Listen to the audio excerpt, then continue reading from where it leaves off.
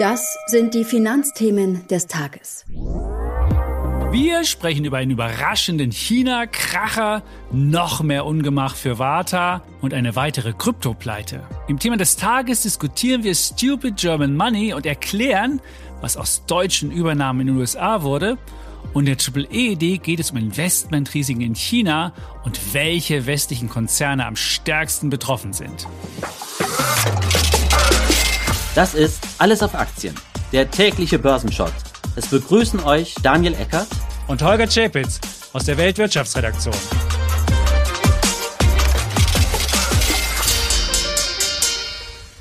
Die im Podcast besprochenen Aktien und Fonds stellen keine spezifischen Kauf- oder Anlageempfehlungen dar. Die Moderatoren und der Verlag haften nicht für etwaige Verluste, die aufgrund der Umsetzung der Gedanken oder Ideen entstehen.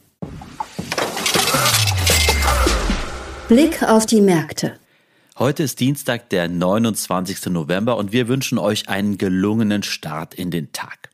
Der erste Tag der neuen Börsenwoche, der war jetzt nicht ganz so gelungen. Die Einzelhändler, die haben zwar den Black Friday gefeiert und Rekordumsätze gemeldet, zumindest für die USA, doch die Investoren, die blieben zu Beginn der Woche lieber in der Defensive. Einigermaßen gut hielten sich nur die weniger zyklischen Titel, zum Beispiel aus dem Bereich Pharma, Nahrungsmittel und Getränke. Unter Druck war dafür alles, was konjunkturabhängig ist oder irgendeinen China-Bezug hat. Dazu später noch mehr in der AAA-D. Der DAX verlor dann am Ende 1,1 Prozent auf 14.383 Punkte und ist dann leider auch auf Tagestief aus dem Handel gegangen. Was ja nie so ein wirklich richtig guter Indikator, keine gute Sache ist. Und an der Wall Street, da ging es dann auch weiter mit dem Abverkauf. Und der S&P 500 verlor 1,5 Prozent auf 3.964 Punkte.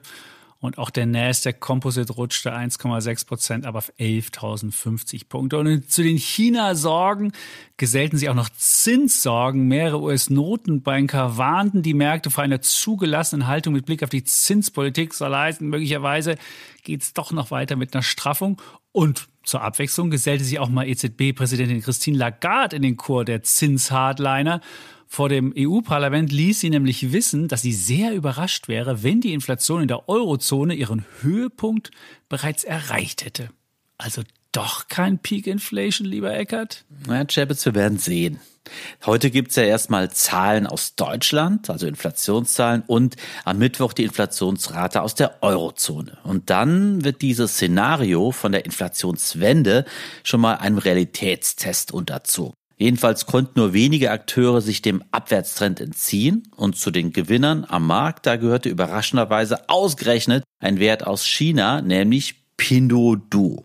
In den USA sind die Papiere ja gelistet und die schlossen da am Montag 13 Prozent fester. Die E-Commerce-Plattform, die hat Ergebnisse für das dritte Quartal gemeldet und die waren besser als erwartet. Es war das zweite Quartal mit einem Blowout-Resultat, so haben die Amerikaner gesagt. Und außerdem hat die City eine Kaufempfehlung abgegeben. Neues Kursziel lautet jetzt 79 Dollar. Das wären immerhin nochmal 10 Prozent mehr. Und gegen den Trend leicht im Plus war auch Amazon. Da hatten wir ja gestern relativ lang drüber gesprochen. Und hier halfen Rekordumsätze beim Black Friday und auch beim Cyber Monday lief es früher gut. Weniger gut, wir haben es ja schon angesprochen, für Zykliker und auch für Öltitel. Und die China-Angst drückte den Ölpreis zeitweise auf den tiefsten Stand seit Dezember 2021. Und damit sind sämtliche Kriegsgewinne beim fossilen Energieträger dahin. ExxonMobil verloren drei Prozent. Und dann noch ach, eine Meldung für alle Warta-Aktionäre, die ja nicht besonders äh, doll war. Warta verloren fast fünf Prozent. Und jetzt ist das Problem, jetzt werden sie wahrscheinlich auch noch ihren Platz im MDAX verlieren und in den S-DAX absteigen. Und das mit dem Zukunftswert aus der Batteriebranche. Es ist wirklich ein Trauerspiel damit. Ähm, ja, Trauerspiel ist es ja auch gerade im, im Kryptosektor zumindest so ein bisschen, wobei Bitcoin und Ether konnten sich am Montag noch recht wacker halten. Dabei musste gestern der Kreditgeber BlockFi Konkurs anmelden und ist damit ein weiteres Opfer nach dem rasanten Niedergang der Kryptobörse FTX.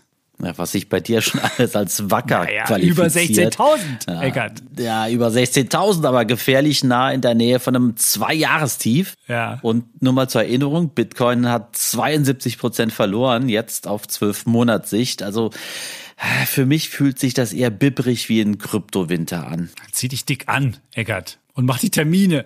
Ja, in Deutschland gibt es heute die Inflationszahlen, wie bereits erwähnt. Erwartet wird dann leichter Rückgang von 10,4 auf 10,3 Prozent. Und es wäre aber immerhin ein monatlicher Rückgang, also zum Vormonat von 0,2 Prozent. Und auch die Reallöhne werden bekannt gegeben vom Statistischen Bundesamt, also deren Entwicklung. Und dann gibt es noch Geschäftszahlen von Around Town, von Adler, von HP, von CrowdStrike, Workday, Intuit und Bilibili.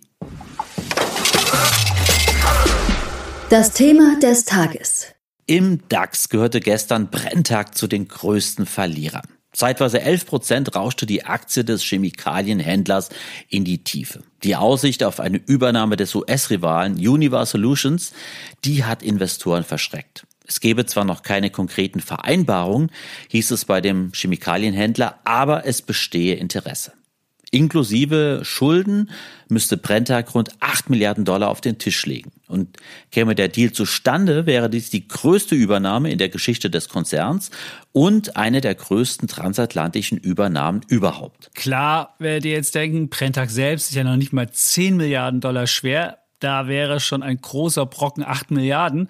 Und das könnte man wahrscheinlich ohne Kapitalerhöhung kaum stemmen. Und sowas finden natürlich Investoren nie attraktiv, Kapitalerhöhung. Aber es dürfte auch eine wichtige Rolle dabei spielen, dass es sich um eine transatlantische Übernahme handelt. Und in Amerika, da stehen ja deutsche Konzerne nicht im Ruf, unbedingt ein glückliches Händchen zu haben. Ja, Stupid German Money, so wird ja oft das Geld genannt, das deutsche Investoren oder deutsche Firmen in Übersee investieren. Und wir haben mal die größten Transaktionen angeschaut, um euch zu verraten, ob es bei Firmendeals wirklich so etwas wie Stupid German Money gibt oder ob es sich darum um einen Mythos handelt. Und vielleicht erstmal eine Zahl vorweg. In den vergangenen drei Jahrzehnten sind deutsche Konzerne für nicht weniger als 523 Milliarden Dollar in Übersee auf Shoppingtour gegangen. Das geht zumindest aus Zahlen von Bloomberg hervor. Und die beiden größten Transaktionen, das waren wirklich totale Fails, würde mein Sohn das sagen. Eine davon wurde mit hohen Verlusten bereits wieder rückabgewickelt. Das war die Hochzeit im Himmel, die Daimler-Benz-Chef Jürgen Schremp im Mai 1998 verkündet hatte und er äh, hatte die Fusion mit dem US-Autobauer Chrysler verkündet. Und dahinter stand so ein bisschen der Traum der Welt AG, den sich Daimler-Benz 43 Milliarden Dollar kosten ließ. 2007 wurde die Ehe wieder geschieden und Chrysler war da nur noch hm, 7 Milliarden Dollar wert. Ein Traum, wenn man so will, wollte auch Bayer-Chef Werner Baumann wahr werden lassen. Er kannte, dass in Zeiten von Klimawandel die globale Ernährung zunehmend kritisch wird und dass die Landwirtschaft mit Saatgut eine zentrale Rolle spielt. Und so kaufte er 2016 Monsanto, den Saatgut- und Agrarchemiekonzern aus Missouri für 65,7 Milliarden Dollar, die bis heute größte transatlantische Übernahme.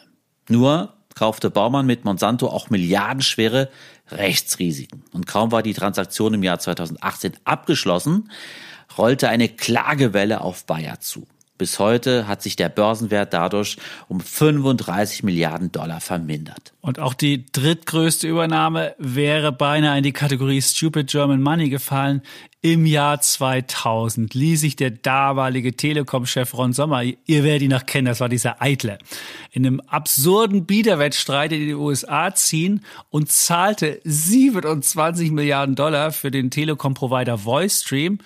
Glücklicherweise wurde ein Teil der Kaufsumme auch in eigenen überwerteten Aktien bezahlt. Jahrelang sah das nach einer viel zu teuren Übernahme aus, aber inzwischen ist T-Mobile Mobile US, so heißt der Laden nämlich jetzt, der größte Wachstumstreiber für den Bonner Telekom-Konzern. Also würden wir mal sagen, das ist eine neutrale Transaktion. Zu den eher missglückten Übernahmen zählt auch die Übernahme von Bankers Trust durch die Deutsche Bank. Das war kurz vor der Jahrtausendwende. Für gut 9 Milliarden Dollar holte sich der deutsche Branchenprimus damit ein ja, Kulturproblem ins Haus und wurde über Jahre zum Selbstbedienungsladen für Investmentbanker. Und als überteuert war auch die 7,6 Milliarden Dollar schwere Übernahme von Tressa Rand durch Siemens. Und auch der Versorger RWE war froh, als er 2009 die 2001 für 7,5 Milliarden erworbene American Water wieder verkauft hatte. Es gab und gibt aber auch gelungene Transaktionen. Der Darmstädter Pharmakonzern Merck, der verleibte sich zuerst den Laborausrüster Sigma Aldrich für 16,4 Milliarden und dann den Wettbewerber Millipore für 7,8 Milliarden Dollar ein. Und seit Bekanntgabe der Übernahme von Sigma Aldrich 2014 hat die Merck-Aktie sich mehr als verdoppelt und jedes Jahr rechnerisch gut 10 Prozent plus gemacht. Die Übernahme, die kann also als geglückt betrachtet werden. Und über die 16 Milliarden Dollar schwere Übernahme von Varian durch Siemens Healthineers haben wir ja vor kurzem hier gesprochen. Auch die scheint ja, zumindest vielversprechend, weil ein Weltmarktführer da entstanden ist. Und die Shopping-Geschichte von SAP in den USA, die immerhin 38 Übernahmen umfasst, die war gemischt. Und gleiches gilt für Fresenius Medical Care oder Fresenius. Fazit, Übernahmen bergen immer Risiken für Anleger, weil viele Hoffnungen, die man da hatte, wenn man eine Übernahme trifft, nicht aufgehen. Aber transatlantische Deals, die solltet ihr immer mit besonderer Skepsis betrachten.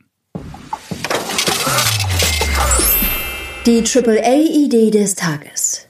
Wenn wir über China reden, dann reden wir ja nie nur über China, denn wenn sich Risiken in der Konjunktur oder der Politik der Volksrepublik aufbauen, dann betrifft das auch die westlichen Firmen, die in und mit dem Reich der Mitte Geschäfte machen. Ja, und das sind nicht wenige, gerade in Deutschland, denn seit Jahren ist die Volksrepublik der wichtigste Handelspartner der Bundesrepublik. Und in den vergangenen zwölf Monaten, da haben China und Deutschland zum Beispiel Waren und Dienste im Wert von 300 Milliarden Euro ausgetauscht. Ich glaube, das müssten so acht Prozent des BIP sein. Ist es ungefähr so viel? Das kommt, Kann das, das sein? kommt ungefähr hin, ja. Wahnsinn. Und wenn es jetzt also zu Protesten, Streiks oder zu noch härteren Lockdowns oder einem großen Corona-Ausbruch kommt, was auch immer, dann betrifft das so oder so all die Unternehmen, die dort aktiv sind, sei es, weil die Lieferungen aus China wieder einmal unterbrochen sind oder weil die Kunden dort ausbleiben in China oder weil sich möglicherweise auch die wirtschaftlichen Beziehungen weiter abkühlen ja, die Konzerne, die eng mit dem Reich der Mitte verbandelt sind, für die steigen die Risiken. Es drohen dann Wachstumseinbußen in einem sehr wichtigen Absatzmarkt. Und das bekam gestern zum Beispiel Volkswagen zu spüren. Für die Wolfsburger ist China ja der größte Einzelmarkt und bis zu 40 Prozent aller Fahrzeuge werden da abgesetzt. Ja, und gestern musste VW schon ein Werk in der Volksrepublik komplett runterfahren. Und groß ist das China-Engagement auch für BASF. Die Ludwigshavener, die machen ungefähr ein Siebtel ihres Umsatzes im Reich der Mitte. Erst diesen Sommer hat der DAX-Konzern angekündigt, dort ein Projekt der Superlative durchzuziehen. Im südchinesischen Zhangjian soll das entstehen. Und da will die BASF einen riesigen Chemiekomplex errichten. Investitionssumme 10 Milliarden Euro. Und das wäre die größte Investition eines deutschen Unternehmens in Fernost überhaupt. Und das rechnet sich natürlich nur unter der Prämisse, dass der China-Handel wächst und dass die chinesische Wirtschaft weiter wächst. Aber nicht nur Volkswagen und die BSF. Viele Firmen sind auf die Volksrepublik angewiesen für ihre Produktion oder für Zulieferung. Und ganz vorne steht da Siemens, aber auch Infineon ist zu nennen, Lanxess, Kion, BMW und Mercedes-Benz. Da ist es übrigens jedes dritte Fahrzeug, was in China abgesetzt wird und die GEA Group. Analysten der Investmentbank Goldman Sachs, die machen aber auch darauf aufmerksam, dass deutsche Firmen nicht die einzigen sind, die leiden, wenn es schlecht läuft im Reich der Mitte. Falls China kippt, werden auch US-Konzerne in Mitleidenschaft gezogen, die dort teilweise auch schon seit sehr langer Zeit Geschäfte machen. Und die Goldmänner haben potenziell betroffene Firmen in zwei verschiedene Gruppen eingeteilt. Da gibt es einerseits Firmen, die dann Umsatz oder Umsatzdynamik einbüßen müssten. Dazu zählen unter anderem Apple und Tesla, für die die Volksrepublik ja ein wirklich wichtiger Absatzmarkt ist, aber auch Albemarle und Air Product und Chemicals. Dazu kommen Agilent, Las Vegas Suns, Livent, Starbucks, Otis, Emerson Electric, Aptiv, 3M, Nike oder auch Estee Lauder. Und dann gibt es dann noch Firmen, deren Geschäft darüber hinaus von der Fertigung im Reich der Mitte oder von Vorprodukten von dort abhängig sind. Das sind häufig Einzelhändler, Autohersteller und auch IT-Firmen. Ganz vorn mit dabei ist da On Semiconductor, Albemarle wieder, Dollar Tree, Akko, HP, General Motors, Best Buy, Applied Materials, Nike, Trimble und Mattel. Und ein Name fehlt da noch, natürlich Apple. Und für den iPhone-Bauer ist China nicht nur ein bedeutender Absatzmarkt, sondern auch der wichtigste Produktionsstandort. Und da es im Reich der Mitte knirscht, werden Apple-Kunden auch ganz konkret merken, durch die Aufruhr im Reich der Mitte werden sechs Millionen iPhones, die in China gebaut werden sollten, bestenfalls später fertig und die fehlen also. Und wenn die nachgeliefert werden, das hängt davon ab, ob Foxconn, die taiwanische Gesellschaft, die Produktion auf dem Festland wieder aufnehmen kann. Und das wiederum, das hängt von vielen Faktoren ab. Die Apple-Aktie jedenfalls, die verlor gestern 2,6 Prozent auf 144 Dollar und steht jetzt 19 Prozent niedriger als zum Jahresanfang. Das ist doppelt so viel verloren wie der DAX, Eckert. Mhm. Ja, aber ja. nur, nur auf Dollarbasis. Das stimmt. ja. Der Fuchs, der Eckert weiß das sofort. Der weiß alles. ja. Fast alles zumindest. Aber das heißt jetzt für euch nicht, dass ihr sämtliche Aktien mit China-Bezug verkaufen müsst. Ihr solltet euch aber des Risikos bewusst sein. Abgesehen von der Sympathie mit den chinesischen Protestlern, mit dem Aufbegehren gegen die autoritären Strukturen, ist das ein Grund mehr, die Ereignisse aus dem Reich der Mitte genau zu verfolgen.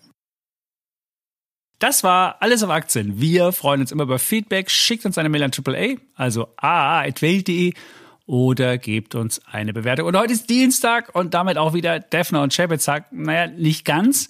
Der Defner ist im Urlaub. Und ähm, für ihn im Podcast ist heute Tech-Legende Pip Klöckner da.